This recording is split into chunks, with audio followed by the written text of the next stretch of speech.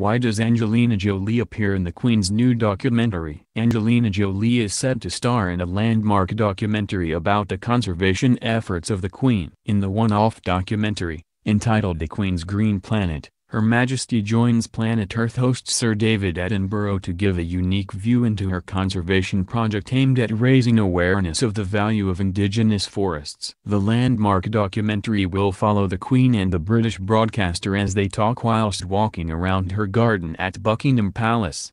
Hollywood star Angelina, who was made an honorary dame in 2014, will appear in the film showcasing her conservation work with the Namibian government. The teaser shows the actress heap praise on the monarch, saying, She's this really lovely lady who really cares about the future. The ITV documentary will also see Prince Harry planting trees in the Caribbean and Prince William and his wife Kate in Canada's Great Bear Rainforest. Speaking about the documentary, ITV's controller of factual programs, Jo Clinton Davis, said, Rare is the project that starts as a finite one-hour documentary and ends up generating the momentum for a timeless campaigning event. The Queen and David will also discuss nature and the ambition of the Commonwealth canopy during the show, with the royal revealing her hopes that her project will help change the climate for the better. She tells David, I've been quite difficult to give presents to so.